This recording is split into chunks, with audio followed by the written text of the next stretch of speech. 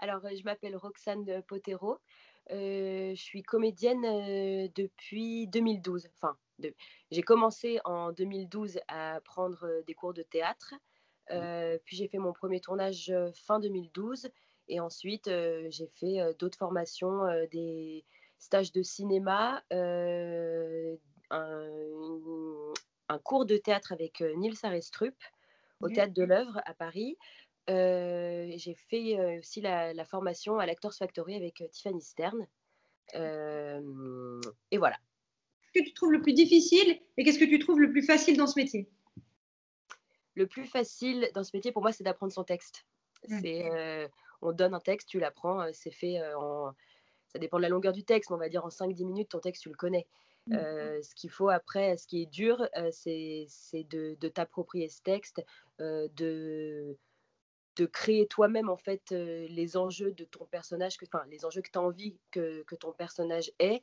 Mmh comment, comment positionner ta voix, comment positionner ton corps. C'est tout ça qui est difficile parce que te réciter ton texte soit dans ta tête, soit à l'oral sans aucune intention, c'est très simple. Le, plus difficile dans ce métier, c'est quand, bah, quand tu bosses pas.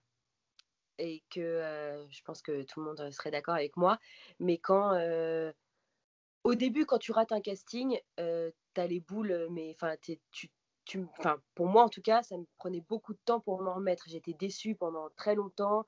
Je ressassais le truc, je me disais comment j'aurais pu faire mieux, comment machin. Ça, c'était très dur. Aujourd'hui, euh, ça allait aussi. Enfin, quand, on, quand tu crois à fond à un, casting que tu passes, que tu t'es investi dans le, projet, dans la lecture du scénario, etc., puis qu'on te dit non. Euh, surtout si tu penses avoir, euh, enfin, si tu es content de ce que tu as fait en casting, je trouve ça toujours difficile qu'on te dise non mais je le vis moins mal qu'avant, on va dire. Les trois conseils que toi tu donnerais, ou même plus d'ailleurs, des conseils que tu donnerais à un comédien qui démarre euh, Mon conseil, en fait, ce serait de, de, de jamais arrêter d'apprendre, euh, de, se, de se perfectionner. De, je pense que, de toute façon, personne ne sera jamais parfait, tu peux toujours apprendre plus, donc autant, euh, autant y aller tout le temps, quoi. Mmh. Voilà. Et, et j'allais dire, le deuxième conseil, ce serait de ne pas non plus oublier qui on est et de ne pas complètement s'effacer pour laisser place à quelqu'un d'autre. Non, enfin, bosser avec ton bagage, mais donc en restant quitté, mais en bossant. si, mais est-ce que ça t'est déjà arrivé de ne pas être complètement toi-même face à une personne parce que tu avais tellement envie d'avoir le rôle ou tu avais tellement envie de plaire à tel metteur en scène, tel directeur de casting, tel réalisateur que du coup, tu sentais déjà en toi-même que bah, tu étais un peu dans, Tu jouais un rôle, que tu n'étais pas toi-même. Ça t'est déjà arrivé? Ah ouais, ça m'est déjà arrivé, ouais. Je, je, ça m'arrive plus là, mais. Euh, enfin, quand je dis ça m'arrive plus, en tout cas, quand, quand je ressors euh, du. Quand ça commence à venir, tu essaies de, de, dire bon, ça paraît de.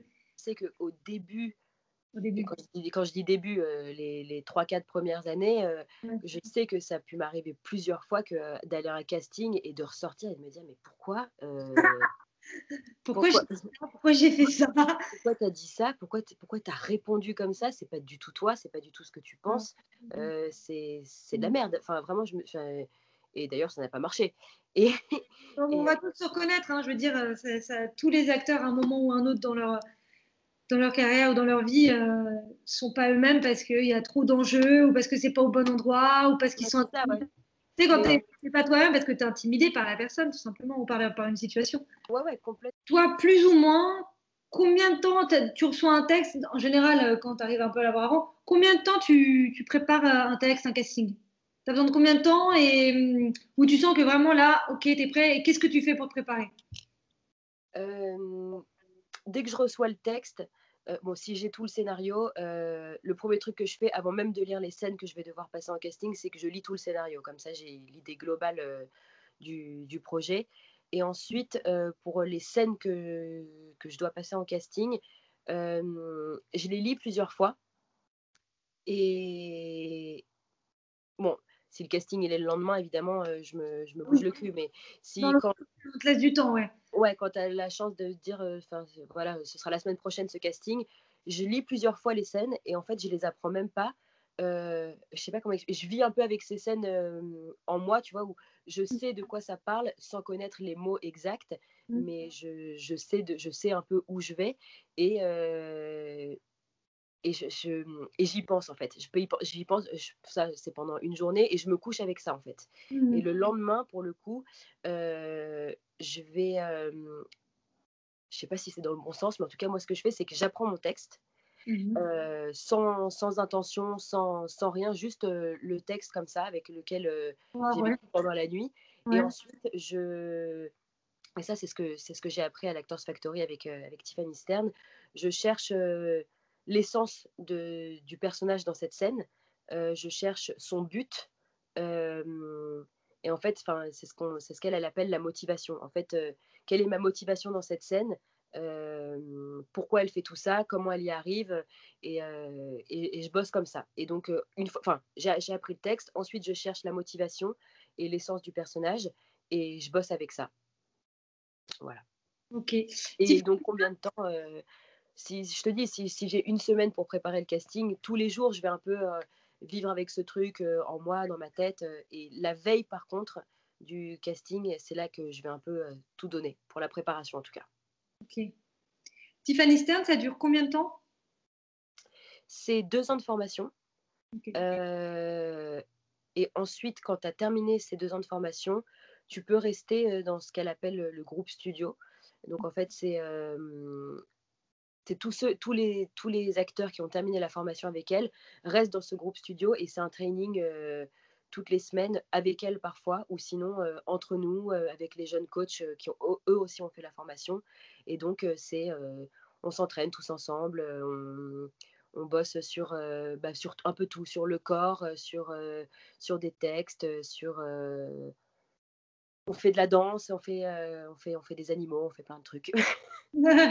Hum, dernière question, bien que oh, tu m'as déjà un peu répondu, mais peut-être que tu as d'autres idées.